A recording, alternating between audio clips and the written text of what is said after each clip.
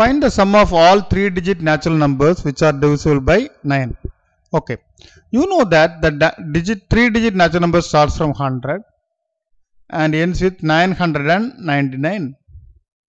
Okay. First you find the minimum number which is divisible by 9 in 3 digit. So divide 100 with 9. 1 nines are 9, 10, 1 nines are 9. So remainder is 1. So remainder is 1. Therefore 100 minus 1, so 99 is divisible by 9. So what is the next number? Add 9. 108.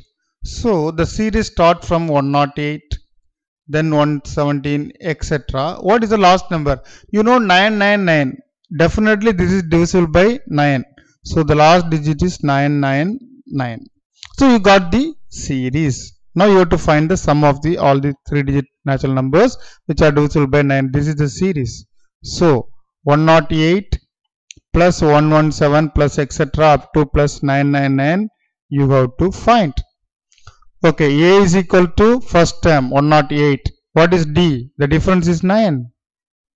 What is N? You do not know. What is the last term? 999.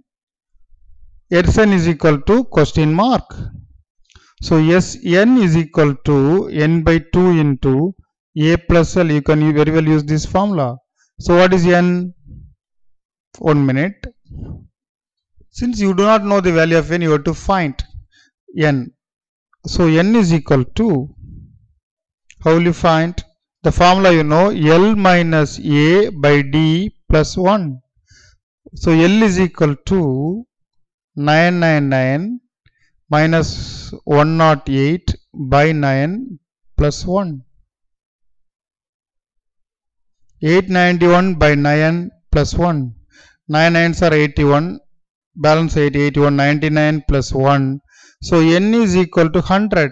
So write this n here 100 by 2 into a is 108 plus l is equal to 999. So 100 by 2 is equal to 50 into 1107. Okay, 1107 into 50. The answer, if you multiply these two, you will get the answer 55,350 which is the answer the sum of all three digit natural numbers which are divisible by 9